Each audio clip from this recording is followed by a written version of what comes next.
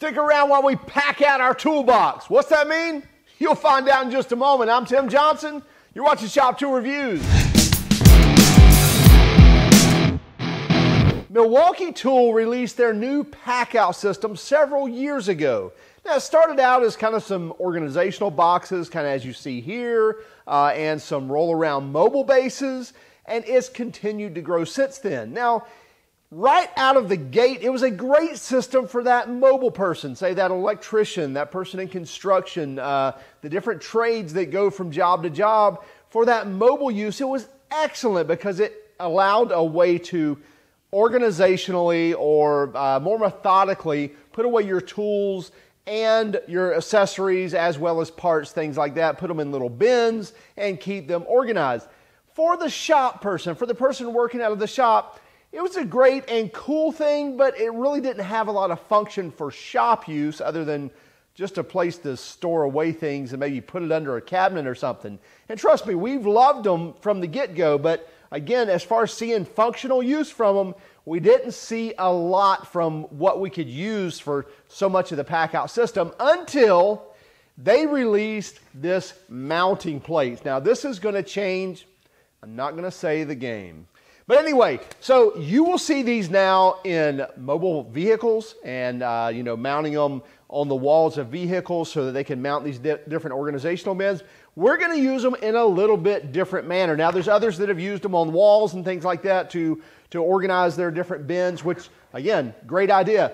We've got a better idea, or at least a different idea. We got this Milwaukee toolbox over here. From your view, it probably looks decent, like maybe even looks clean, uh, maybe looks nice and tidy, but trust me, it's not. You even see the Milwaukee radio sitting there on top? Well, it's kind of a disaster to tell you the truth. It's filthy and it just doesn't get the amount of uh, love that it should. But we're going to change that. So we're going to use some Milwaukee Packout mounting plates and we're going to uh, spruce up our toolbox a bit and we'll see what you think when we're done. Okay, so here's a true look at the toolbox. And again, may look decent right here, but we'll show you up close in a second. We love our radio. We love our M18 pack-out radio. It just, uh, it works really well, sounds really well, syncs really easy to, to phones, Bluetooth, computers, things like that. So that's kind of where we like it to stay. However, it's not very functional right there. Uh, and then down here on the side of our toolbox, it's just kind of a catch-all of underhood lights, backpack, an old charger that never gets used right there not getting a lot of function out of the side of our toolbox there. Now, as far as the internals of the toolbox, we do pretty well and we work out of it quite, quite a lot. However, when it comes to the underhood, pretty common scenario with a toolbox. So, got our pack out radio on there, so we've got to do this little gentle, you know, kind of lift up and grab what we need to under here. Now, what we have in here, uh, some batteries, uh, charging for our lighting or our, for our camera equipment. We got a soldering iron in there, Dremel, little Ryobi Dremel station, a bunch of lights in there that we like to charge. Um, yeah, some Kleenexes that we never get to. Anyway, just kind of a, uh, a sundry of different things. But we're just, uh, as I mentioned, there we go. So there went our Milwaukee Packout radio. We almost lost it. So we've got to change that. So first thing, let's clean the filth that's on top of that, and let's get to it.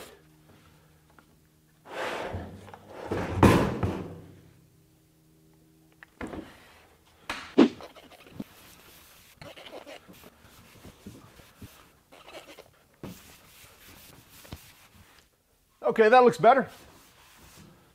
All right, so we're going to use a couple of these Milwaukee Packout mounting plates. And by the way, they're going to work in a single direction, so you want to make sure that you have them oriented where you can slide them in and out, lock them in and out, so forth. Uh, so we're going to mount one probably there and one here. Now in this case, Milwaukee only making a 46 inch toolbox, so we overhang a little bit. Maybe you can do something about that. Until then, we're going to make use of it. We'll be fine. Uh, so we're going to mount it to our lid here. We're going to use some riv nuts, uh, rivet nuts. So basically you drill a hole, you put these in it, and we'll use a little rivet gun tool, and it'll compress in there and basically make a little nut uh, called a nutsert or a nut insert. But anyway, they're called rivet nuts or riv nuts or, or nutserts. um, several names that they call these. That's what we're going to use to mount these using some quarter inch, uh, quarter inch by 20 screws. I think that's what that calls for in the, uh, in the pack out mounting plate instructions. There's a bunch of different mounting holes here depending on whether you're mounting them vertical or sideways or horizontal or, or whatever you want to call it. Anyway, so uh, we're just going to pick a few of them, probably put at least four in each one of these um, and get those mounted to the top here. Okay, first thing I'm going to do, I'm going to find center here on the front of the toolbox here just to give us an idea of where the center point is. Uh, it's 46 inches, so at 23 is center. I'll go ahead and mark it in the back here as well.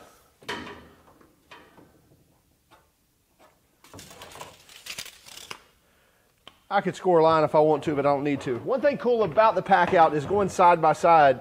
They are made to butt up against each other. You see the little uh, little notches there that uh, join to one another, so you can butt these up. So that's one thing that's pretty cool. So I'm going to get this centered, and I'm going to get this kind of flush to the front. I'm going to overhang just a little on the back, but again, I really don't care that much about that. There we go. Now butt the other one up against that. And yeah, I've got about the same amount of overhang on each one. So you may care a little more than I do on this. I'm going to kind of eyeball this and I'm going to be happy with it. Now, I'm going to take a quarter inch drill bit to mark my holes and I'm just going to mark a couple of them.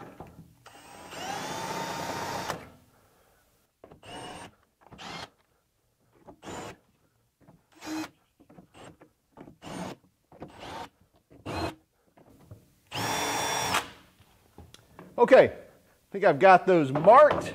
Let's get those out of the way. And now, so I've got a few holes marked here.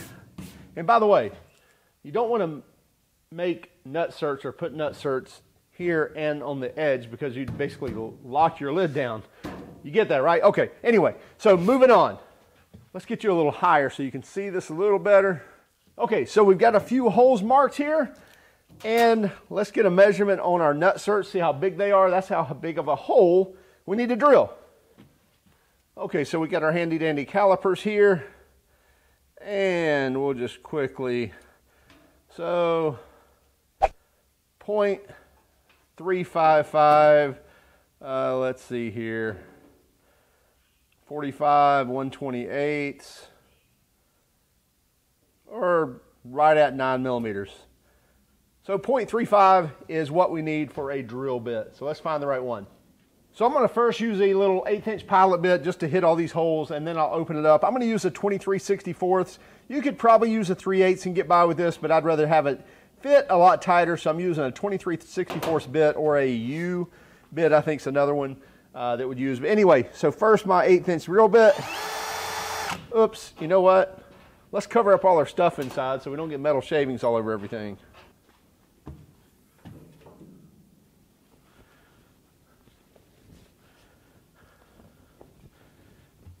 You would think I would think ahead like this all the time, but that's rare. Really, what this is, is I'm too lazy to unload everything. So just do this instead. Now we're golden. Okay, back to drilling.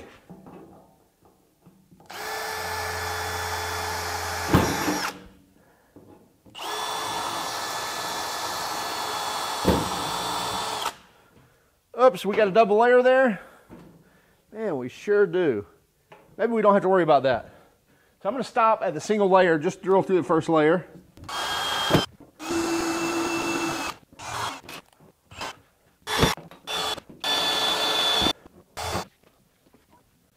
Now we can clean up our shavings. Not sure why I'm doing that now when I still have to drill the bigger hole. Nonetheless, get that cleaned up. So let's drill a test hole here and see how it works.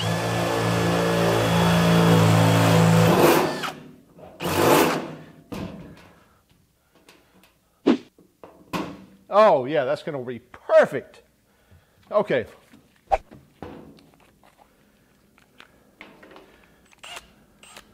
Little lube never hurt.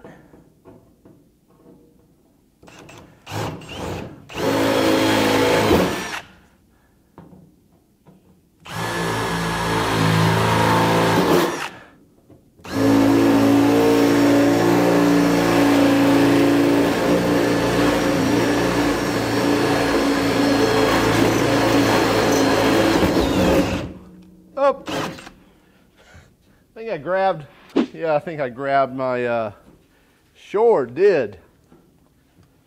Well, that was a waste, wasn't it?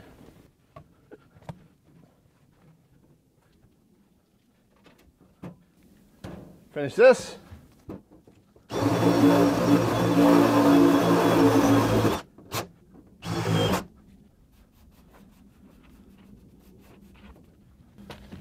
right.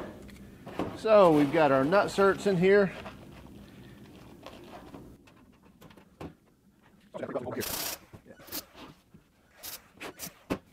And we forgot two holes back here.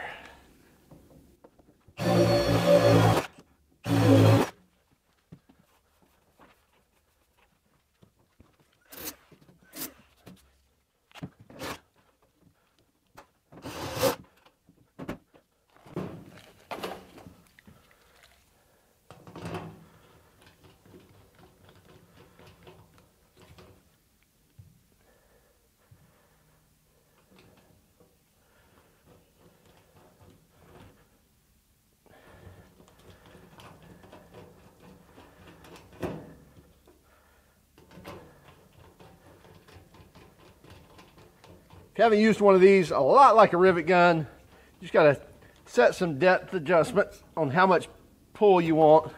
It's not requiring a lot of pull on this.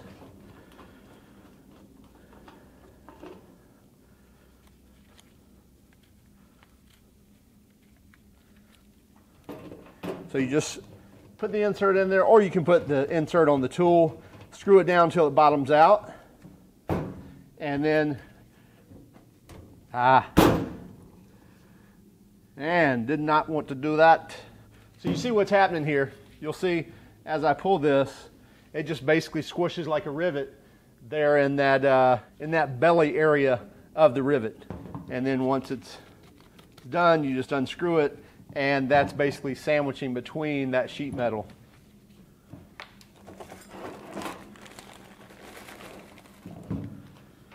Make sure that's down.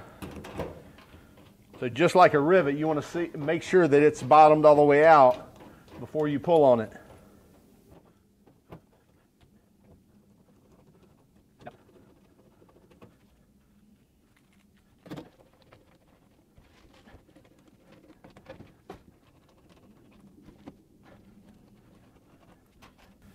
Now let's hope all my riv nuts uh, line up with the, with the holes in the mounting plate that I drilled.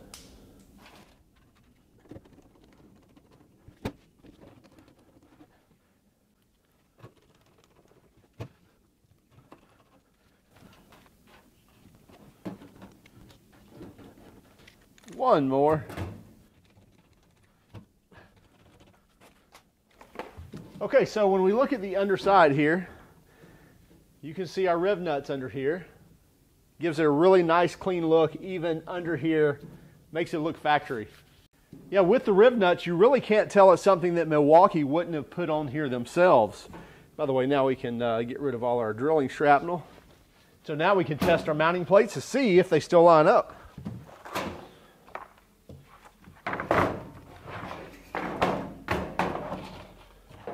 So we've got some one inch, quarter inch by 20 screws, or quarter inch by 20 by one inch long screws. And let's line up our first one, see how we did. Golden there.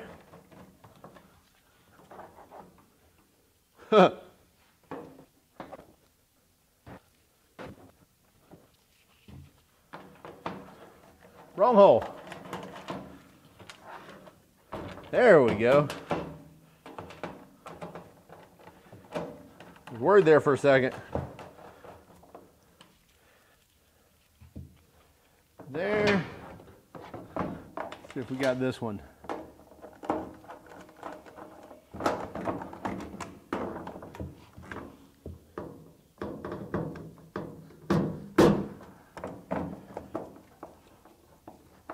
Got that one. Had to find it.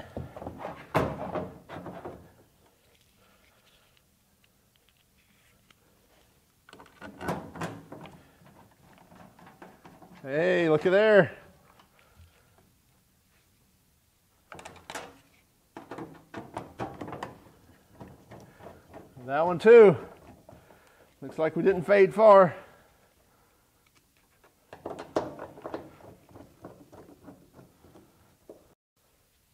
And then let's see if we got this one.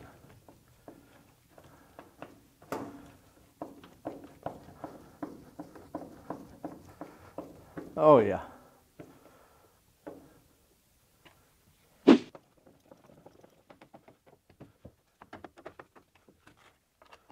Okay, so we're locked in really well. That's not going anywhere. We've got our, uh, our nutserts in, we put our screws in, we've got our mounting plates on, and look at here. So we can raise that up, no problem at all. Now let's on to loading this thing. Okay, so first thing is our nutsert container. So we've got a little pack out with all our nutserts in it, something we use quite often. So I'm gonna load that in, lock it into place. And then our pack out socket set. A lot of times rather than grabbing a socket and a ratchet, we need to grab kind of a whole kit, take it on the boat with us, whatever. Now we can load it up here, slow lock it into place. It's locked in. And then, what's the most important thing here? Of course it is it's the shop tunes. So now we've got our pack out radio. And now that's locked into place. We no longer have to hold it in place when we raise it up to get in our under our lid. That is absolutely awesome. Not going to shake around anywhere. It's not going to disconnect itself until we actually unlock it, slide it out of place, take it with us, and when we're done with it, throw it back on, lock it in, and we're good to go. Same way with our tunes. We need to head out to the lake, head out to the beach, take our tunes with us, get back, lock it in, and now it's locked onto our lid. We can get under here, we can do our charging, we can get to our stuff, get to our lights, and we're good to go. So there's our pack out addition to our Milwaukee toolbox. Milwaukee. Have you got to think about that? And just in case you're wondering how it looked like on the side, you can see barely any overhang there at all. And on the front side there, barely any sticking over that lip. Now the back side's got a little bit of a lip, but that's not a big deal. You're never looking at that. So we really like this new addition here. Two comments for Milwaukee. One, how about a 72 inch long toolbox? That'd be pretty cool. Just saying. Anyway, and the other one is, how about lining up some nutserts on the side of your box that line up with your mounting plates? Might be a good idea. Anyway, what do you think about our pack out system? We thought it worked geniusly. In fact, we've got another idea for the last one we have here. Probably go on maybe the side of the toolbox. Uh, but we thought the lid idea was great. It's worked out really well for us. Uh, it holds the radio great, holds any other pack out systems that we have that we want to slide up there and lock into place as well. Lifting it up, it still stays out of the way of everything, and underneath it looks factory. You see the nutsert sticking out the bottom. Even with the one inch screws, it lines up really flush with the bottom of the nutsert or the riv nut, whatever you want to talk about it. And this was a pretty simple project. A lot of times we go into a project like this and hours and days and weeks later, when we still haven't completed it, we scrap the whole thing and say, forget about it. In this case, you saw pretty much real time. We'll do some editing here, but it did not take long whatsoever. It took more time rolling around the camera and lights than it did actually doing the job. Used a really simple riv nut installer or rivet nut gun or nutsert gun, whatever you want to call this. I've always called them nutserts. Most people call them, I think, riv nuts or rivet nuts. But these things are really handy. I'll actually leave a uh, a link in the description if you actually want to find these on Amazon is where I got them pretty cheap and you can get the nut nutserts with them. And then we got some extra, we got a bag of 100 quarter inch by 20 because, or quarter inch, uh, 20 thread uh, by, well, by whatever you want. But anyway, uh, that whole bag of like 100 I think was only like another 10 or 11 bucks. So we know we'll use that quarter inch thread a lot. Um, in fact, our little pack out container of the nutserts because we will use this tool a lot on many other things. So check it out for yourself. If you want to do it, hey, you got a Milwaukee toolbox or any other toolbox and you got some pack out stuff, get the mounting plates, use the nutserts, put them on there. I'm telling you, you will love it. Let us know what you do with your toolbox and pack out system as well, or maybe even pack out in shop in general. If you don't mind, would you hit that like and subscribe button, but only if you like this video and keep track of us on Instagram, Facebook, and Twitter. And by all means, if you hated our video, give us a thumbs down, but would you let us know in the comments why? Have a great day and keep smiling. Which, by the way, after Milwaukee released these pack out uh, mounting plates, I called Milwaukee. I said, hey, by any chance, does the side of your toolboxes and service carts and things like that, do they have some of the nut inserts that actually line up with these mounting plate holes? Long pause. Um, let us get back to you on that. And I knew right away, I thought, you know what? They realized they missed an opportunity. So, Milwaukee, your new toolboxes, you might want to think of lining up some nutserts to line up with your mounting plate. Yeah, you might have to move your bottle opener. I get it. That's a tough thing. But anyway, just a thought.